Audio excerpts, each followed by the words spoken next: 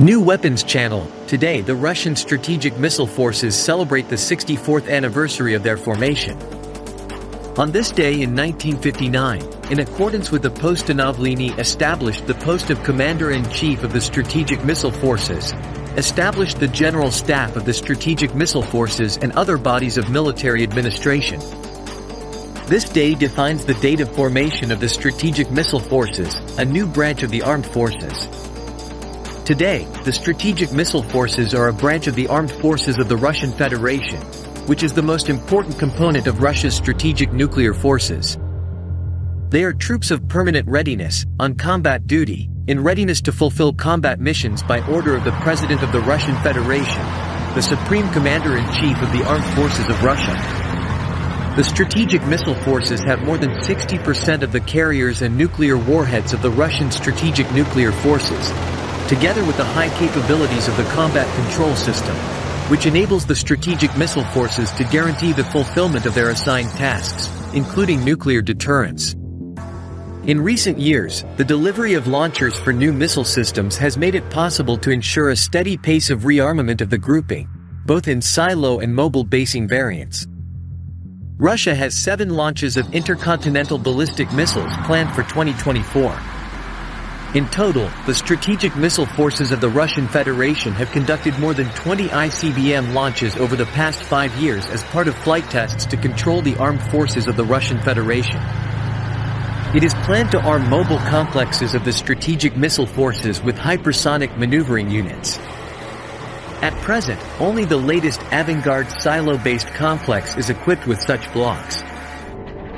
New Weapons Channel Today we will look at a comparison video of how much faster the new Russian intercontinental ballistic missile Sarmat is gaining speed than its predecessor Voyvoda. Compared to Voyvoda, the new Sarmat is capable of hitting targets at virtually unlimited ranges. According to NATO classification, the Russian Voyvoda is called Satan, and the Sarmat in turn is called Satan II. The first test launch of the Sarmat intercontinental ballistic missile took place last year at the Plesetsk Cosmodrome. The training blocks arrived at the target area of the Kura test site in Kamchatka. The missile is unique in that it can accelerate to several speeds of sound and can follow a changing trajectory.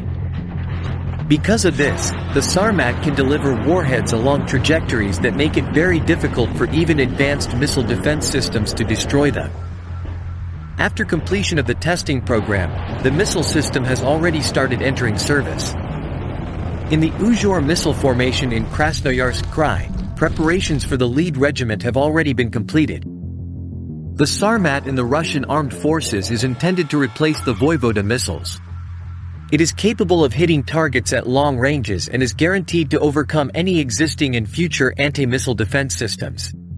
The new missile has a wider range of payloads in terms of the number and types of warheads, and it can also carry gliding hypersonic units. The new weapons channel reminds us that the missile system was developed at the Makeyev Rocket Center. Serial production is carried out at the Krasnoyarsk machine building plant. New weapons. Under the leadership of Commander-in-Chief of the Russian Armed Forces Vladimir Putin, exercises of Strategic Forces Grom 2022 were launched.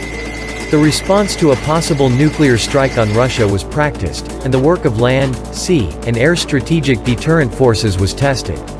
A massive nuclear strike by strategic offensive forces in response to an enemy nuclear strike was practiced.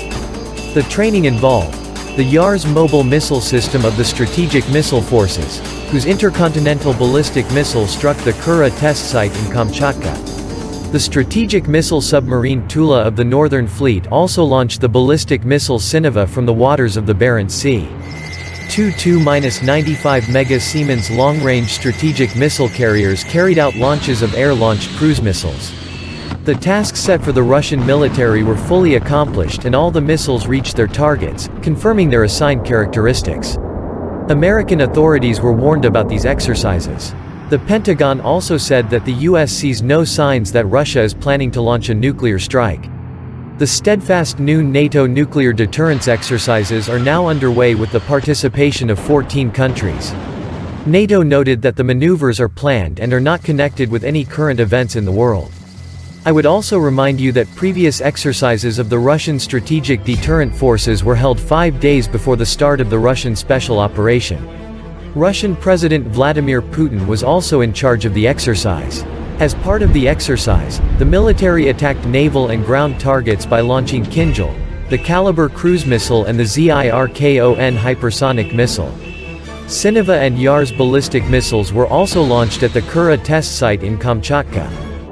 New weapons. Under the leadership of Commander-in-Chief of the Russian Armed Forces Vladimir Putin, exercises of Strategic Forces Grom 2022 were launched. The response to a possible nuclear strike on Russia was practiced, and the work of land, sea, and air strategic deterrent forces was tested. A massive nuclear strike by strategic offensive forces in response to an enemy nuclear strike was practiced.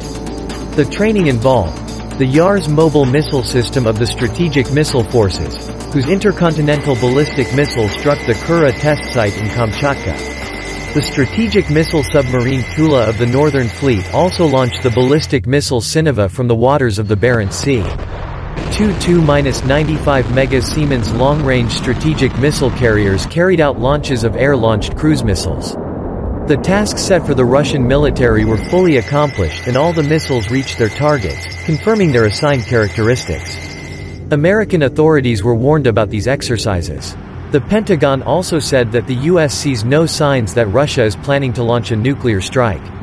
The Steadfast Noon NATO nuclear deterrence exercises are now underway with the participation of 14 countries. NATO noted that the maneuvers are planned and are not connected with any current events in the world.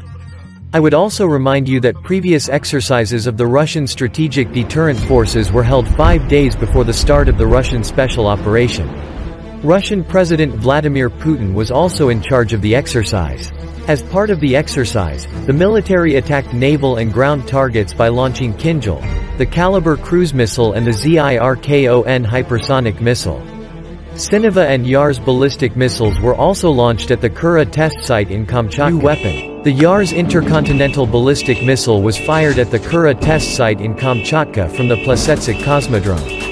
The training is carried out as part of a nuclear deterrence exercise on behalf of Russian President Vladimir All missiles are targeted targets, confirming the specified characteristics. The tasks that were set for the state military have been fully completed.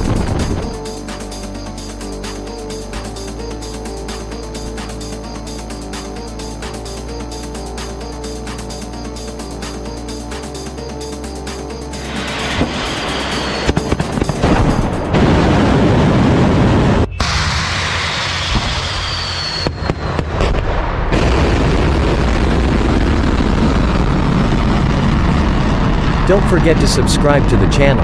Goodbye everyone.